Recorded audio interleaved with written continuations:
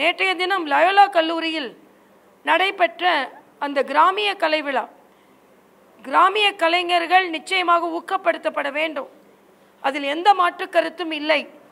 ஆனால் அந்த பெயரில் மிக மோசமாக பெண்களையும் பிரதமரையும் தமிழ் கலாச்சாரத்தையும் இந்து கலாச்சாரத்தையும் மோசமாக சித்தரிக்கும் படங்களை வைத்து கண்காட்சி நடத்தியது வன்மையாக கண்டிக்கத்தக்கது. இன்று அந்த நிறுவனம் மன்னிப்பு கேட்டிருக்கிறார்கள். ஆனால் இது நடத்துவதற்கு யார் ஊக்கப்படுத்தினார்கள்? இதற்கு பின்புலமாக இருந்தவர்கள் யார்? பல அரசியல்வாதிகள் அந்த நிகழ்வுகளில் கலந்து கொண்டார்கள். அவர்கள் இதை போல இந்து மத உணர்வையும் குறிப்பாக பெண்களையும் இதில் நான் வன்மையாக கண்டிக்கக்கூடியது ஏதோ இந்து மத துவேஷம் என்று எடுத்துக்கொண்டு பெண்களை மிக மோசமாக சித்தரிக்கும் உரிமையை இவர்களுக்கு யார் கொடுத்தார்கள்? இது முக ஒவ்வொரு பெண்ணும் தமிழகத்தில் சிந்திக்க வேண்டிய ஒன்று.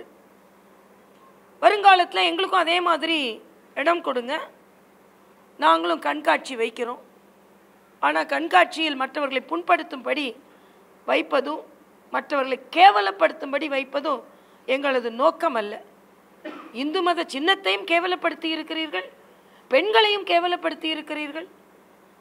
இவ்வளவு மோசமாக ஏன் பார்த்தா தெரியலையா? அவர்கள் புண்படுவார்கள் என்று தெரியலையா? என்ன வக்ர புத்தி? அதனால் இனிமேல் நாங்கள் சும்மா இருக்க மாட்டோம்.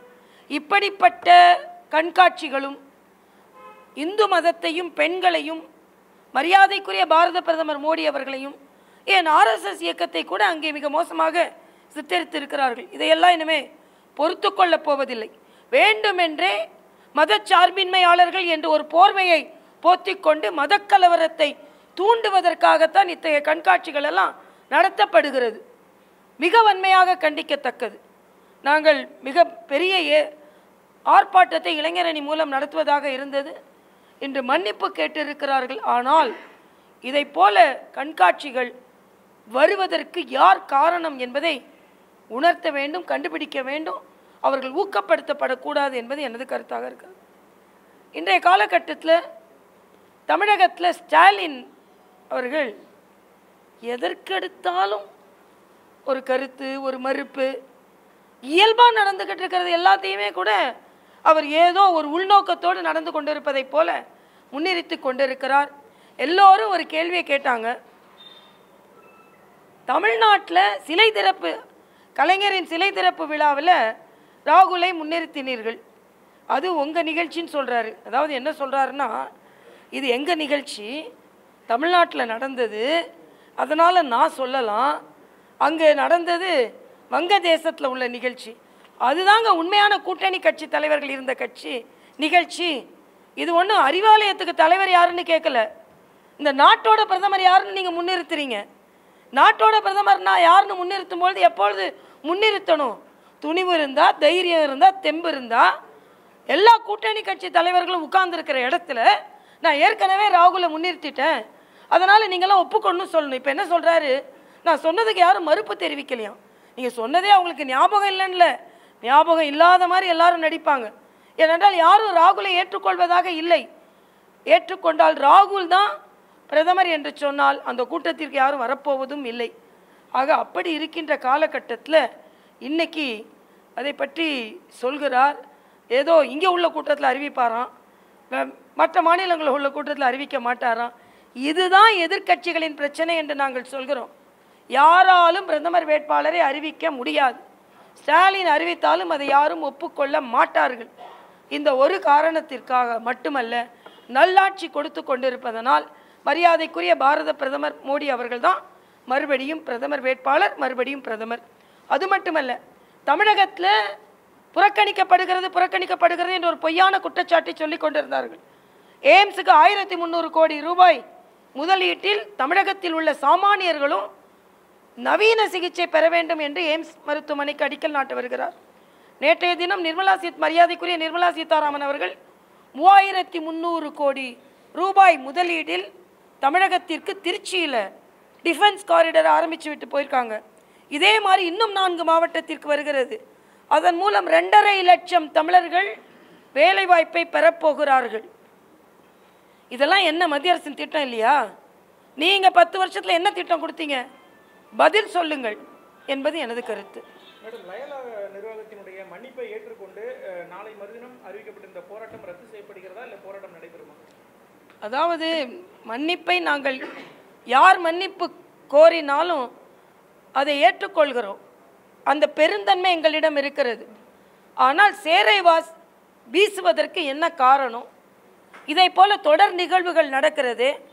இங்கே உள்ள அரசியல்வாதிகள் இதே போல வேறு ஒரு மதத்தை தவறாக சித்தரிந்தா சித்தரித்திருந்தால் எத்தனை தலைவர்களிடமிருந்து கண்டன குரல் வந்திருக்கும்?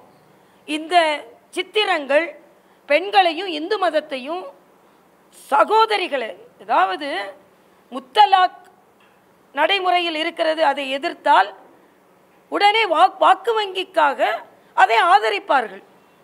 உங்கள் வீட்டு சகோதரியை திடீரென்று மூன்று முறை நீ வேண்டப்படாதவள் என்று சொல்லிட்டு வீட்டுக்கு அனுப்புனா போதுமா?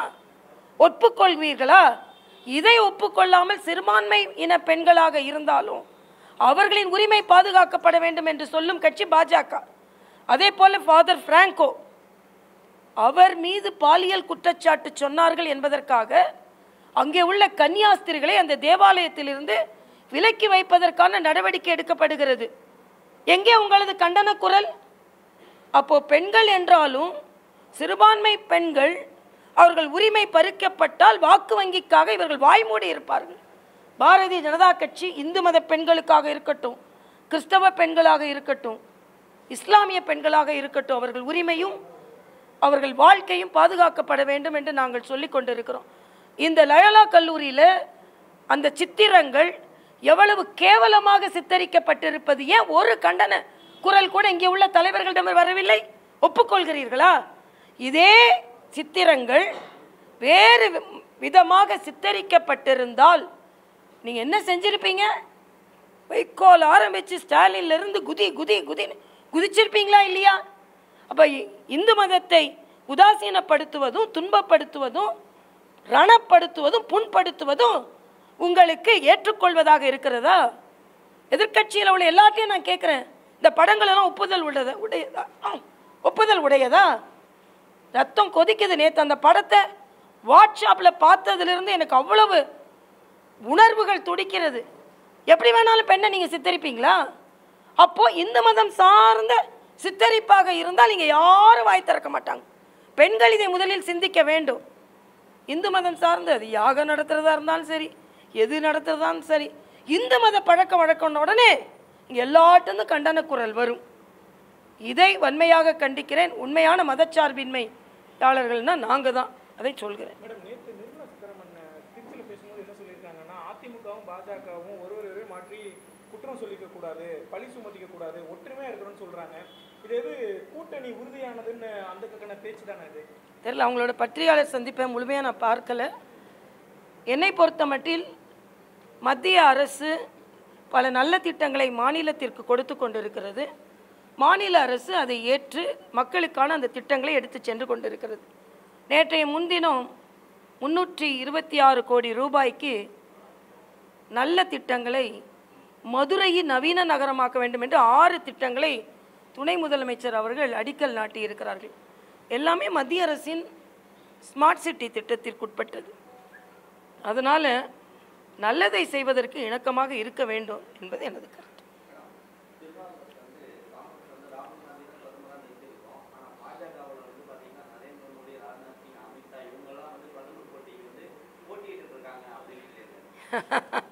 திருநாவுக்கரசர்கிட்ட நான் ஒன்று கேட்டுக்கிறேன். ஏன் அவங்க கட்சியில் வேற மூத்த தலைவர்களே இல்லையாமா? அப்போ இதை சொல்லும் அந்த துணிச்சலும் இது எங்கேருந்து வருகிறது? ஒரு குடும்பத்தை சார்ந்தவர்கள் மட்டும்தான் எங்கள் கட்சியில் பிரதமராக இருக்க வேண்டும் என்று அவரே சொல்கிறார். ஏன் அவங்க கட்சியில் இதை விட திறமையாளர்கள் இல்லையா? ஏன் கன்சிடர் கூட பண்ண முடியாத அளவுக்கு ராகுல் காந்தி அவ்வளோ உயர்ந்தவரா? இதைத்தான் நாங்கள் எதிர்க்கிறோம். அவர்கள் இளவரசர் இளவரசர்களுக்கு முடிசூட்டி கொண்டு இருப்பார்கள் சாதாரண குடும்பத்தில் பிறந்தவர்களை அவர்கள் சிந்திக்க மாட்டார்கள். மோடி அவர்கள் மிகச் சாதாரண குடும்பத்தில் பிறந்தவர் என்பதை திருநாவுக்கரசருக்கு நான் கொஞ்சம் நினைவூட்டுகிறேன். இன்றைக்கி எல்லாத்தையும் மறந்துட்டார் பாவம். இளங்கோவன் கொஞ்ச நாள் சும்மா இருக்கார் அதனால் மறந்துருக்காருன்னு நினைக்கிறேன். சிறுபான்மையின கல்வி நிறுவனங்கள் வந்து ஐம்பது சதவிகிதம் வந்து சிறுபான்மையினருக்கு தான் இடம் கொடுக்கணும் அப்படிங்கிறது ஒரு நாம் ஆனால் அதை யாருமே கடைபிடிக்கலன்னு சொல்லி தமிழ்நாடு சிறுபான்மையினர் ஆணையம் வந்து நோட்டீஸ் அனுப்பி அந்த கல்வி நிறுவனங்களுக்குலாம் ஆனால் அவங்க வந்து அதை எதிர்த்து வந்து ஹைகோர்ட்டுக்கு போயிருக்கிறாங்க ஸ்டே வாங்கி வச்சிருக்காங்க இதை நீங்கள் எப்படி பார்க்குறீங்க? ஐம்பது சதவீதம் வந்து சிறுபான்மையினர் மாணவர்களுக்கு இடம் கொடுக்கல அப்படிங்கிறது சிறுபான்மை ஆணையத்துடைய குற்றச்சாட்டு. இல்லை சிறுபான்மை இனருக்கு உதவி செய்வதற்காகத்தான் அந்த நிறுவனங்களுக்கு அனுமதி வழங்கப்படுகிறது. பல சலுகைகளும் கொடுக்கப்படுகிறது. ஆனால் அதை இவர்கள் பின்பற்றுகிறார்களா இல்லையா என்று சிறுபான்மை ஆணையமே கேட்கக்கூடாது என்று சொல்வது எப்படி சரியாக இருக்கும்? மற்ற நிறுவனங்கள்லாம் கேட்க மாட்டாங்க. அதற்கென்றே அந்த நிறுவனங்கள் இயக்கப்பட்டு அதற்கென்றே அந்த நிறுவனங்களுக்கு அனுமதி கொடுக்கப்பட்டு அதற்கென்றே அந்த நிறுவனங்களுக்கு பல சலுகைகள் அரசாங்கத்தால் கொடுக்கப்படுகிறது. ஆக அதற்கென்றே உள்ள நிறுவனங்கள் அதற்கான வழிமுறைகளை பின்பற்றுகிறார்களா என்று கேட்பது எப்படி நியாயமில்லாததாக இருக்குன்று எனக்கு தெரியல. ஆக அரசாங்கம் சிறுபான்மை ஆணையம் கேட்பது சரி ஏனென்றால் அதற்காகத்தான் அந்த பள்ளிகளும் கல்லூரிகளும் நடைபெறுகிறது என்பதை அவர்கள் புரிந்து கொள்ள வேண்டும்.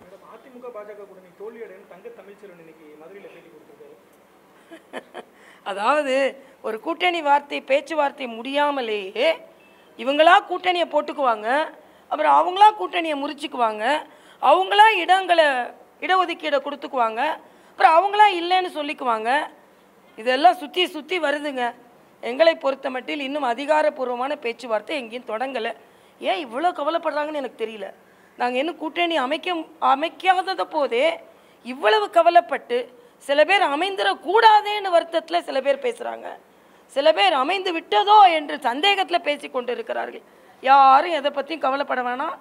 நல்ல கூட்டணி அமையும். தமிழகத்தில் பாஜக வலுப்பெறும்.